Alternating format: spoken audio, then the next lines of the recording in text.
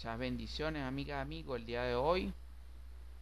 Estamos compartiendo con todas y todos ustedes el horóscopo Sagitario, agosto 2017, soltero, expresado por el Renacimiento, 8 de copa y el 11 de oro. Serán los cielos los que se expresarán para usted y con mucho respeto dichas tres cartas le certificarán la información. Pero antes, debo decirle que hay tres aspectos astrológicos brillando en los cielos verdaderamente relevantes para todas y todos. Estos son Sol en casa 3, lograrás detener las flechas en contra, porque te crecerás en el amor. Sol cuadratura Neptuno, podrás hacer que brillen ojos en el amor con un presente que permita la unión de las manos. Sol trino Júpiter, con la luz de tu corazón logras expandir las barreras en el amor. Sagitario, ahora sí, agosto soltero 2017, horóscopo, certificado por el Renacimiento, 8 de copa y caballero de oro. Serán los cielos los que se expresarán para usted en el amor soltero y con mucho respeto dichas tres cartas le certificarán a usted la información respectivamente. ¿Qué, ¿Qué, le parece? Sí, se habla como una metáfora, así como aquel que se encuentra en un centro comercial bonito, en un centro verdaderamente bonito, rodeado de palmeras. Así tú, y, y en medio de esas palmeras y ese centro comercial tan bonito, se, se ve verdaderamente rodeados de regalos. Regalos que lo hacen sentir, oye, verdaderamente impresionado, como que hay agasajos hacia él y estira sus brazos hacia los cielos y siente alegría.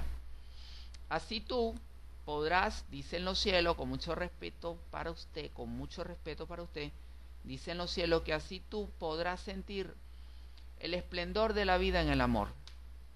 Así que podrás conocer personas que, wow, que te impacten, que sean verdaderamente hermosas para ti en el amor, que sean impresionantes, que te llamen muchísimo la atención. Te estoy hablando no de una, te estoy hablando de dos o tres personas o cuatro que podrás conocer que te llamen la atención, primero intelectualmente, segundo su personalidad, tercero el brillo de su corazón, su majestuosidad, su gala, su forma de expresarse, sobre todo su gala.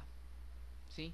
Y eso lo certifica nada más y nada menos que la carta del renacimiento, porque se habla de un renacimiento en luz para ti en el amor. ¿Ves? Y esas alas que ves en pantalla te traen toda esa gala para que puedas volar por todo lo alto en el amor. Ahora bien, ahora bien, escúchame lo siguiente. Se habla de que podrás desear tener hijos. Se habla de que podrás desear tener una relación estable. Pero una relación estable que, que te dé, que sea benéfica para ti. Es decir, una persona que sea detallista, una persona que verdaderamente se preocupe por ti, sobre todo si caes en enfermedad.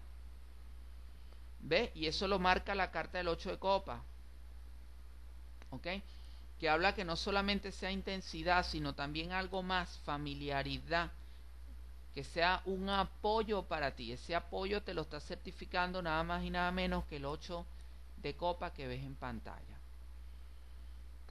Ahora bien, ahora bien, Ahora bien, terapia ideal para ti, salir a la playa, ¿ok? Invitar a esa persona que tanto, que tanto te inspira en tu corazón. Los cielos están diciendo esa persona que tanto inspira tu corazón. Ahora bien, podrá emerger en ti una flor en tu mano. Esa flor que emerge a ti en tu mano, aprovechala. Toma con la mano izquierda a tu pareja por el cuello y con la mano derecha ponle la flor en el corazón.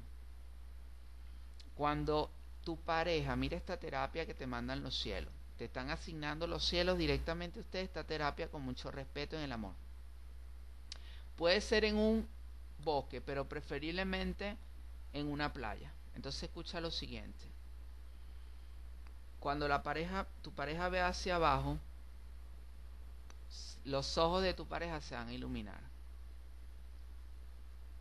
Y en ese momento se puede voltear hacia ti, verte a los ojos y poner su cabeza en tu cuello y se abrazan.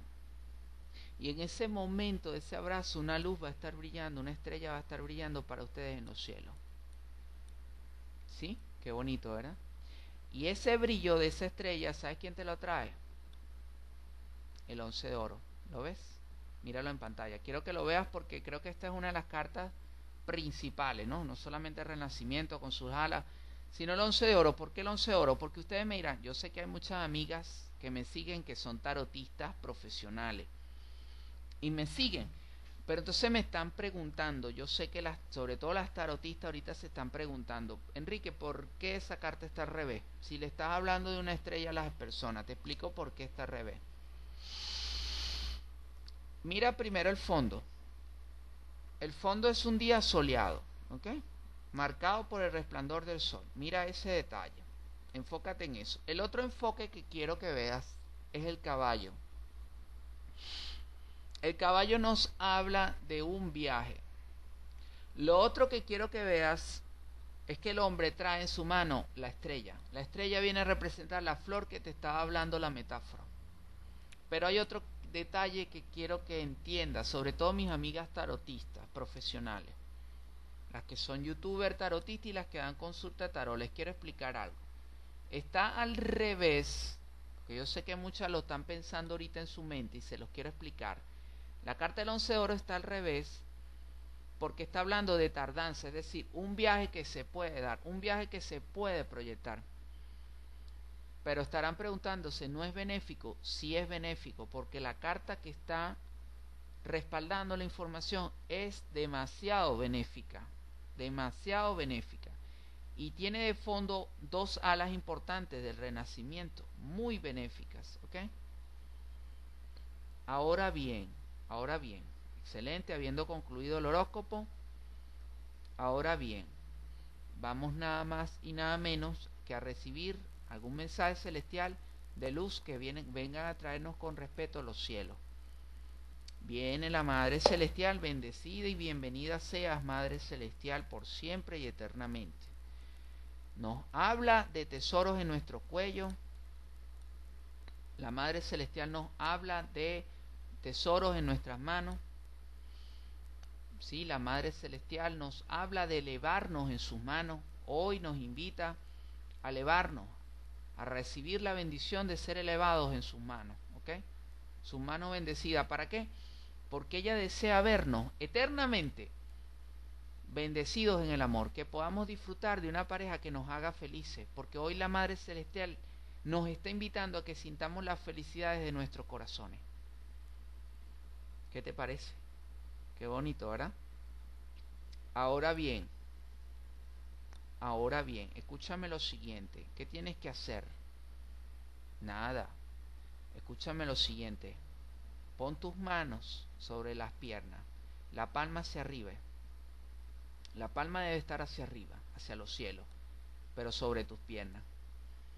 Recibe por intermediación de la Madre Celestial la bendición de felicidad para tu corazón.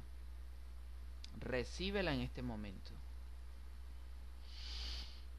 Recíbela. Gracias a la bendecida red social YouTube, Google, Facebook, podemos recibir masivamente la bendición de la Madre Celestial para el planeta Tierra. Recíbanla todas y todos, que la Madre Celestial hoy viene para el planeta Tierra a ayudar la evolución en el amor del planeta Tierra.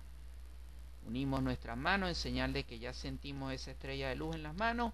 Qué gran bendición, ¿verdad? Siente alegría, yo también la siento. Usted siente felicidad, yo también la siento. Pero es de la Madre Celestial. Gratuita para el mundo entero.